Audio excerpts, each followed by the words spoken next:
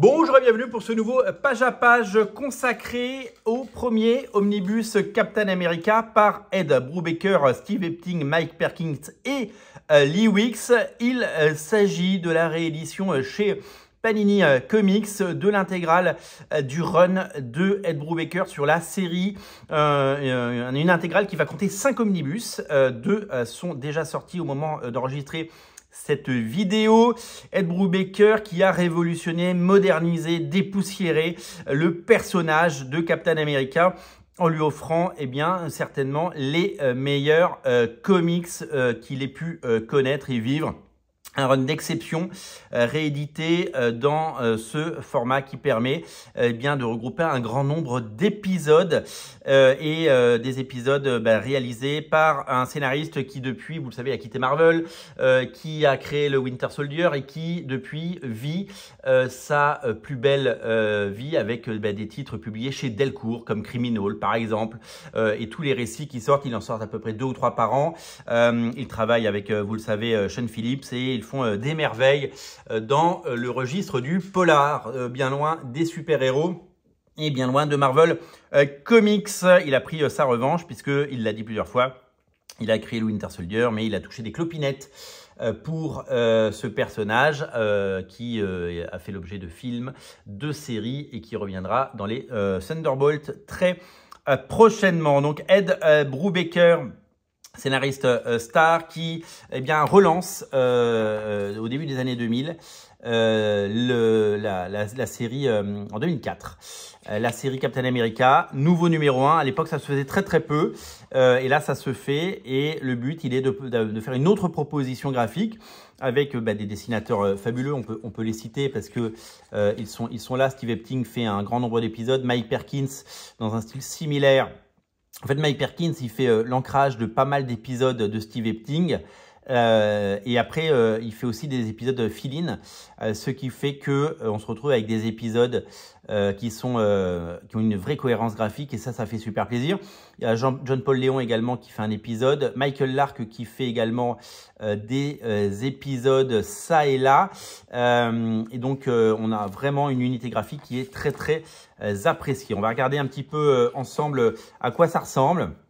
On a un style très réaliste, hein, celui, vous le savez, euh, de euh, justement euh, ce dessinateur Steve Epting qui bah, a connu tout hein, chez, chez Marvel, hein, Steve Epting, parce que dans les années 90, il dessinait les, les, les, Avengers.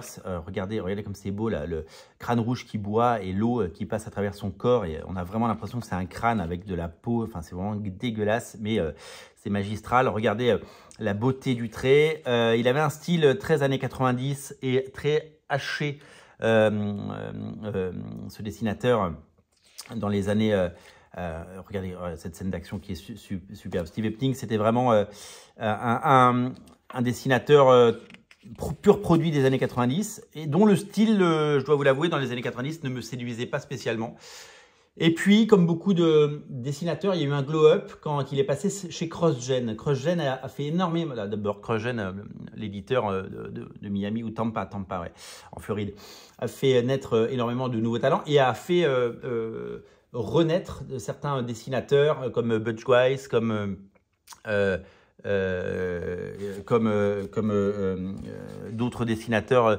il y a des Greg Land est né là-bas. il y a eu pas mal de dessinateurs qui ont qui, qui, qui, sont, euh, qui, sont, qui ont vraiment euh, euh, mûri et qui sont devenus des, très grands parce qu'ils ont énormément progressé ou, métamorphosé leur style chez CrossGen. Et, et là, c'est vraiment une époque qui a permis à, tous ces dessinateurs de, bah, de, de, grandir. Et regardez cette scène d'action d'un Captain America qui est une nouvelle fois héroïque. Hein, c'est le propre de ce personnage.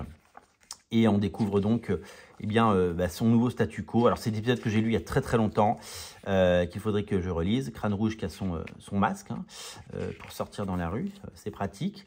donc, il va être question du cube cosmique, il va être raison de Crâne Rouge, enfin, comme vous le voyez sur ces pages. Alors, évidemment, si vous lisez ça, vous, allez être spoilé, hein, c'est le but d'un page à page. Donc, si vous voulez ne rien connaître, eh bien, eh bien surtout, voilà. Alors, les parties, les parties je crois que les parties flashback avec Bucky, parce qu'il va être question de Bucky, euh, sont dessinés par euh, David Ara, c'est ça Michael Lark? Michael Lark, hein, c'est ce qu'on a vu. Hein. Ouais, voilà, c'est ça. Et les, parties contemporaines sont, quant à elles, dessinées par donc Steve Epting et tout ça tout ça nous donne bah, des épisodes vraiment vraiment de haute tenue et on, mesure aujourd'hui la somme de talent, on mesure aujourd'hui eh bien combien ce dessinateur est important et combien ces épisodes sont importants parce que euh, vous savez, les, comics, c'est toujours en quête de noblesse, de reconnaissance, et euh, parce que on a toujours considéré que ce soit aux États-Unis ou en France, euh, les États-Unis comme quelque chose de pas sérieux ou de moins bien que la bande dessinée traditionnelle. Regardez ça comme c'est la Libération, Captain America, ses souvenirs, c'est fabuleux. et donc du coup, c'est toujours toujours exceptionnel de se dire que bah, les comics peuvent être très bien produits avec une unité graphique tout au long, avec une équipe de créateurs qui reste qui essaie de construire quelque chose, comme euh, Brian Michael Bendis sur Daredevil, comme euh, Ed Brubaker sur Daredevil, il a aussi travaillé sur Daredevil, et euh, comme Mark Millar et, Brian Hitch sur les Ultimates, qu'on fait 26 épisodes. Voilà, on, aime ces récits parce que bah, c'est des bouquins qui sont à l'épreuve du temps, qui restent, qu'on peut relire, et c'est surtout que c'est fondateur pour le personnage, parce que finalement, la version du personnage que vous voyez euh, à l'écran, euh, au cinéma et encore aujourd'hui, eh bien, elle vient de là, elle vient de ces comics, elle a été puisée.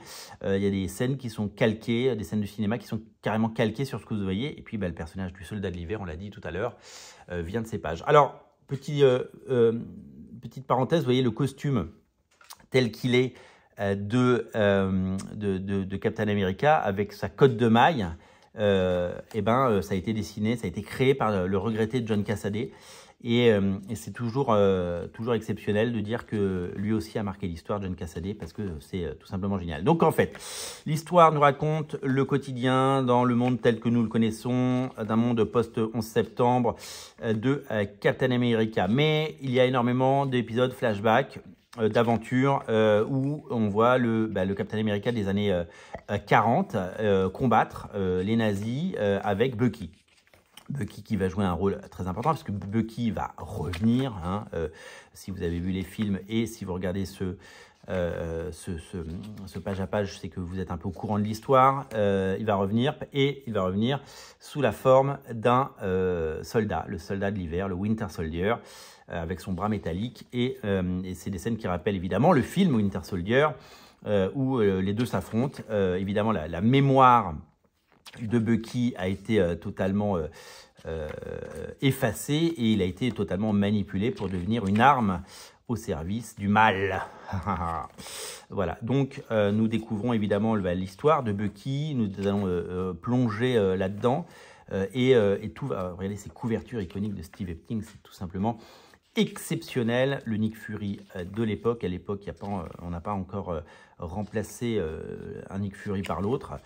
Et, euh, donc, euh, et donc bah, les personnages vont s'affronter euh, à maintes reprises avant d'interagir et, au fur et à mesure, nous allons découvrir et comprendre l'histoire de Bucky qui a été donc retrouvé et qui a été comment il a été manipulé. Alors, il faudrait que je, me remette un peu à jour sur les origines de Winter Soldier parce que j'ai lu ça donc à l'époque, hein, quand c'est sorti en 2004, il y a 20 ans, et donc le relire maintenant euh, pour euh, mieux comprendre un petit peu, un petit peu tout ça. Notamment, euh, je ne me souviens plus pourquoi, bah pourquoi il n'a pas vieilli? Parce que Captain America, il, était, il, a été congelé. mais Bucky, pourquoi il est toujours aussi jeune 80 ans après? Je ne sais pas. Donc là, voilà, il y a tout le, tout le parcours de Bucky qui est transformé en arme par, par l'ennemi et qui va devenir cette, cette, bah, ce, super espion euh, euh, magnifiquement incarné euh, à l'écran d'ailleurs, puisqu'il est cool. J'espère qu'il sera bien, sera bien utilisé dans, dans le film Captain America 4 s'il apparaît, ou en tout cas dans les Thunderbolts, parce que dans la série Faucon et le Winter Soldier, c'était pas... c'était pas... c'était pas... voilà, on avait vraiment l'impression qu'il se baladait à côté. Enfin, c'était pas ouf, quoi. C'était pas. Toutes ces séries Disney Plus sont très très décevantes. Ah, le Faucon est là. Le Faucon est là, qui lui aussi prendra le costume de Captain America quelques années plus tard, dans un costume euh, un peu rétro, mais qui n'est pas le costume qu'il avait dans les années euh, dans les années 80 qu'on adorait. C'est très très beau, hein. honnêtement, il n'y a rien à dire, c'est super beau. C'est de la haute tenue, c'est ce que je disais, c'est, on se rend compte à quel point aujourd'hui ce type de BD produite industriellement, hein, parce qu'il fallait sortir 22 pages par mois, et ça sortait. Il n'y avait pas de retard, on est déjà à l'épisode 14, rendez-vous compte. eh bien, on se rend compte à quel point c'est bien produit, à l'épreuve du temps, toujours aussi cool, toujours aussi bien dessiné, et que ça fait figure de classique aujourd'hui. regardez-moi ça, quoi. Rendez-vous compte, c'est produit tous les mois. C'est pas un épisode par an, quoi. Euh, c'est vraiment du très très grand. Euh, voilà, la volonté, ce qu'ont fait, ce fait Quesada euh, à l'époque et, ce qu'ils ont proposé en termes de, de contenu, bah, c'est des comics qui restent quoi. Tous ces comics, ils restent dans l'histoire des comics. tous ces comics, ils sont ils sont, ils sont présents, ils sont là pour durer, ils sont là pour, pour l'éternité, ils sont réédités, ça fait dix fois que c'est réédité, c'est vraiment quelque chose qu'il faut euh, euh, chérir et savourer. Je, rêverais que le Marvel d'aujourd'hui prenne cette hauteur et ce recul pour nous proposer des choses tout aussi passionnantes et, géniales. voilà, avoir, avoir, ce type de projet, ça c'est Mike Perkins au dessin, on reconnaît, le dessin est un peu différent. On, aimerait que se dire, ben voilà, on, va créer l'histoire. Alors ils sont en train de le faire avec Ultimate euh, Spider-Man. Ils le font avec euh, des séries comme Wolverine Revenge. Voilà, ces récits où on, s'applique. On ne fait pas n'importe quoi. Euh, on gâche pas tout tout de suite. voilà, parce que Marvel a tendance à gâcher. Quoi. Il lance des séries avec un super dessinateur. Au bout de trois numéros, il est remplacé. Je sais pas, quand, quand, quand Marvel avait relancé Hulk avec Marc Silvestri, il y avait eu trois numéros. Alors après, c'était Wild Show, c'était bien aussi, mais euh, quand ils avaient relancé les Inhumans, euh, c'était Joey Madureira, il a fait que trois numéros. Et, après, bon, c'était Ryan Stegman, c'était un tout jeune Ryan Stegman, mais enfin, pourquoi tout de suite euh, remplacer les dessinateurs? Quand, David Finch est venu faire du Moon Knight, il a fait sept numéros de Moon Knight, je crois, sept ou huit. Pourquoi il n'en a pas fait pourquoi il n'en a pas fait euh, Alors ça, c'est un épisode rétro, c'est pour ça que c'est dessiné comme ça. Ça, c'est voulu. Hein. Euh, et puis c'est un one shot, hein, c'est pas la série régulière. Euh, c'est un one shot pour les 65 ans. donc évidemment, le, style un peu rétro de Marcos Martin s'applique parfaitement là-dessus. pourquoi ne pas avoir poussé pour se dire, allez, on fait 12 numéros de Moon Knight par euh, David Finch, et puis à la fin, ça fera un bouquin de 12 numéros qu'on pourra rééditer pendant 100 ans, et les gens, ils seront contents d'avoir ces épisodes parce qu'ils auront le même dessinateur. Moi, c'est toujours un truc qui m'a chagriné. Alors, les Américains ne pensent pas que nous, ce n'est pas de l'art, c'est une industrie, donc il faut que ça sorte. Euh, faut que ça sorte. Mais Joey Quesada, lui, il a, il a, ah, le retour, le retour.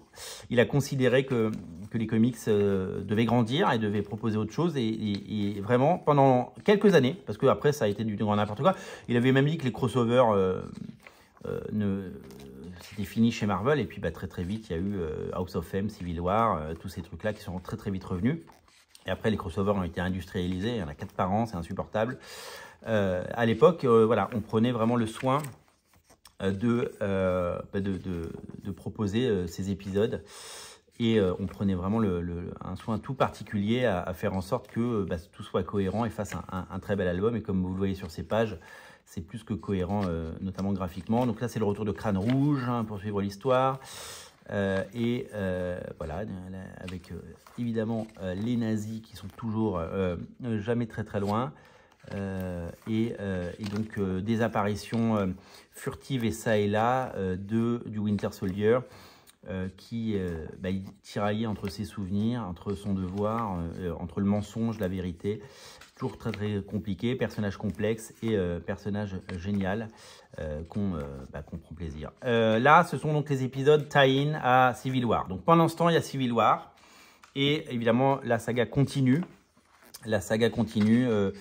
Donc Captain America, pendant Civil War, où il est opposé, vous le savez, à Iron Man, euh, eh bien, euh, bah, la, série régulière, et donc ces épisodes se passent pendant Civil War. Voilà, donc ça, et, d'ailleurs, Civil War va avoir, vous le savez, un impact assez important sur, sur la série. Et, et puis, bah, ça va permettre aussi de, de, relancer les dés, parce que si vous mettez un gros climax, un gros cliffhanger, et qu'un changement de statu quo à la fin euh, d'un euh, comics comme celui-là, eh bien, ça permet, euh, ça permet euh, bah, de relancer euh, les ventes. Là, on est, on est quand même à l'épisode 24, quoi. Donc, j'ose imaginer que malgré la qualité de ces comics, même si le premier numéro s'est vendu autour de 100 000 exemplaires, eh ben, une série comme ça, ça perd des lecteurs d'épisode en épisode.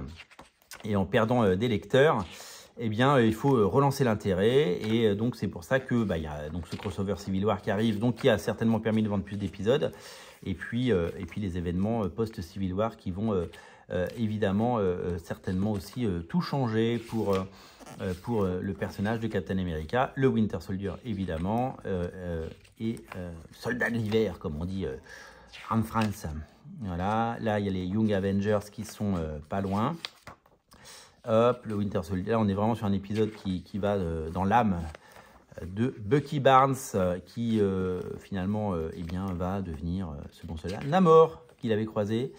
Et là, euh, cette couverture donc de l'épisode 25, euh, épisode 25, euh, puisque bah, vous le savez, Captain America s'est opposé à Tony Stark. il ne voulait pas que les mutants soient enregistrés et donc bah, il est fait prisonnier et il va être jugé. Et au moment de monter les marches, eh bien, il se fait tirer dessus et il y a cette image iconique d'un Captain America qui meurt. Spoiler alerte, il est mort, il est mort Scar. Et donc, euh, il se fait abattre. Et alors là, euh, tout, le monde, tout le monde est totalement, euh, totalement, enfin, il se fait tirer dessus en tout cas.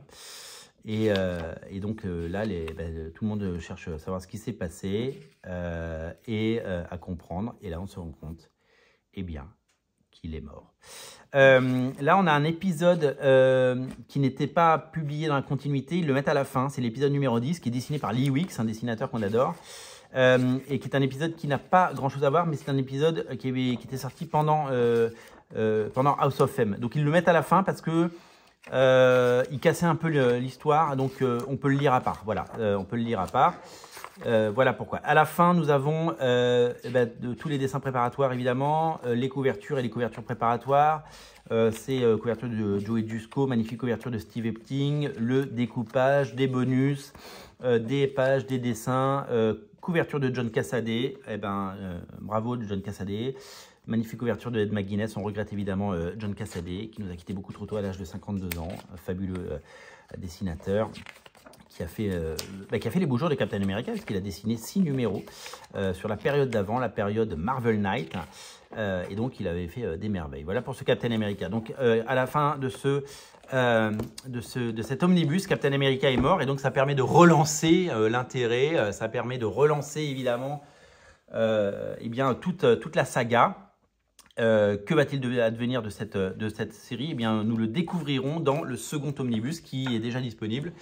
Euh, qui s'appelle euh, La mort de Captain America. Je tiens à signaler euh, que celui-là, il est sorti en mars ou mai 2023 et que je l'ai acheté. donc c'est mon omnibus, il est à moi. donc vous savez, j'ai la chance d'avoir un partenariat sur les pages à pages avec Panini. le partenariat se fera sur le tome 2. celui-là, il est à moi. Et celui-là m'a été mis à disposition par Panini Comics. Et on en fera un page à page qui sera en ligne eh bien, demain. On se retrouve demain pour euh, parler euh, de la mort de Captain America, le second tome qui est plus petit, hein, vous le verrez. voilà, il y a moins de pages, mais à chaque fois c'est une histoire complète et à chaque fois vous allez donc avoir droit à eh bien, un récit au long cours et donc, et donc cinq omnibus à la fin et ce sera publié sur euh, évidemment euh, eh bien, toute, euh, toute la, durée de ça. Merci de suivre ces pages à pages, vous êtes très nombreux, il y en a qui dépassent les 4000 vues, enfin c'est taré. merci à vous et puis on se retrouve très bientôt pour d'autres émissions et n'oubliez pas pendant ce temps de vous abonner à Radio Comics. Salut, salut, salut